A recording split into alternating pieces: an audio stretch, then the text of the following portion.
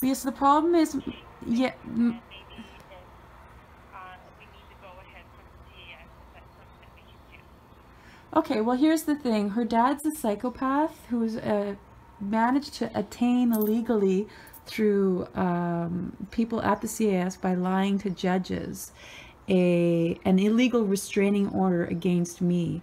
Cate's in tears thinking I don't love her anymore.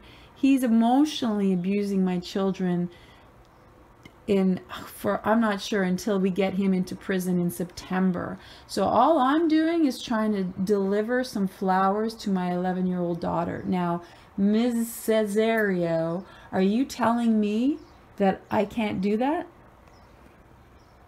I've been instructed By whom? if you want, if that's something I'm sorry, you've been instructed by whom, ma'am?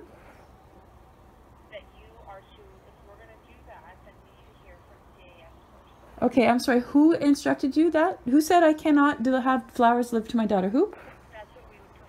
No, no. Who? Who? Who gave you those instructions? I'd like to know. What? Who gave you those instructions? Hello. I am recording this call. I'd like you to tell me who told you I cannot send my daughter flowers.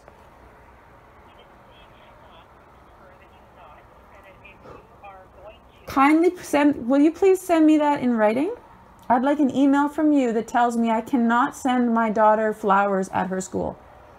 Will you send that to me? I'll tell you what. I'll send. What's your email address? I'll send you a request, and you can simply respond by email. Would that be okay? what, your voice is kind of going, you're, I can't, What's your email address? What's your email address? Hello. Sorry. What's your email address? your, your connection's going in and out. What's your email address?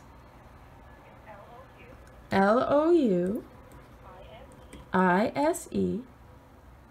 Mm-hmm. S E.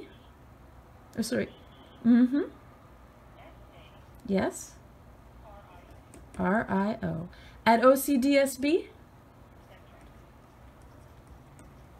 Now I'm going to send to you an email. Was it possible for you to respond within half an hour?